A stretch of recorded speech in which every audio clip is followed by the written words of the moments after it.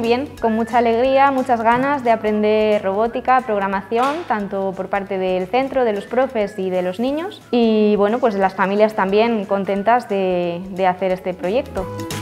Esto de Rural Botic es de programar robots, el mando. Hay que coger unos bloques y ponerles en un orden. Y después ponemos el robot en el suelo y lo hace. Lo que más me ha gustado es ver cómo hace las figuras y las cosas el robot. Me parece muy divertido y muy emocionante.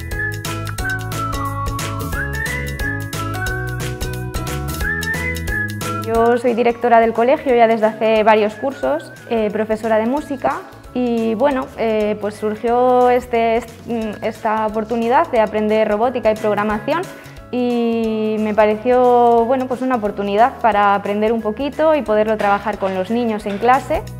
La valoro muy positivamente porque sí es cierto que a veces pues sí que se tiende a olvidar un poco el entorno rural, se hacen muchos proyectos, muchas experiencias para colegios de ciudad entonces, que haya surgido esta experiencia para la escuela rural, pues mm, nos ha parecido muy interesante. Bueno, les diría que no es justo que solo haya en las ciudades, es que también debería haber en los pueblos. Porque si solo hay en las ciudades, los niños de pueblos se tienen que ir a las ciudades a practicar de robótica.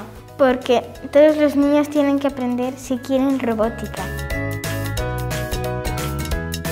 pues animaría a otros profes a apuntarse porque la verdad es que al final son contenidos que pueden relacionarse con diferentes áreas del currículo. Siempre son experiencias ricas de las que sacas pues, recursos, ideas.